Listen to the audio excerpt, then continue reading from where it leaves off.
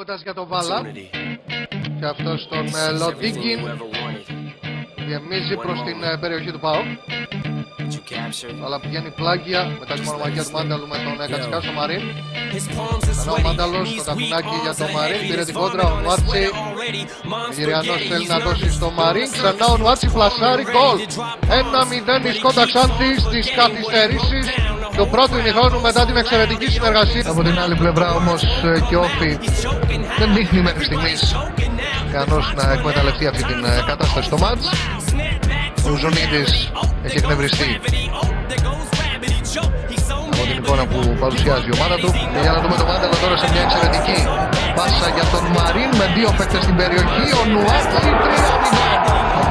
Εκεί που λέγαμε ότι η Ξάντη έχει οπισθοχωρήσει και εκνευρίζει. Ρόκας για τον ε, Κολοβό. Σάμαρης. Βασιλακάκη την ομάδα τώρα. Και το Βασιλακάκη. Ανοίγει τον Μαρσελίνιο. Πάσα όμως δεν είναι καλή. Ο Νουάτσι ευκαιρία 3-0. Το 41. Η Σκότα Ξώτη χορεύει στη βροχή. Ο Φλίσκας. Μεσίδης. Λατέλας για τον ε, Μαρίν. σε βοήθεια και ο Μάνταλος. Μαρίν του δίνει την μπάλα. Ο Μάνταλος στο γύρισμα για τον Ονουάτσι και μία αιστεία 4-0 στο 80 για να πάρει όλες τις ε, διαστάσεις του. Πρέπει να βάλει την, ε, την μπάλα, να χτυπάει τουλάχιστον κόρνερ εκτελέστηκε το κόρ στο πρώτο δοκάρι 1-0 από τον Ονουάτσι νωρίς νωρίς με το καλημέρα.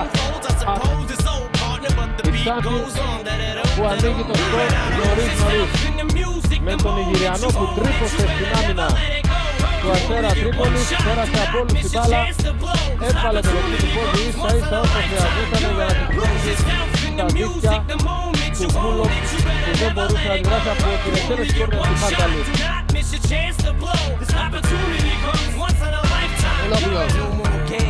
Έτσι από τον Ανουάτσι απέδωσε, ο Μάνταλος.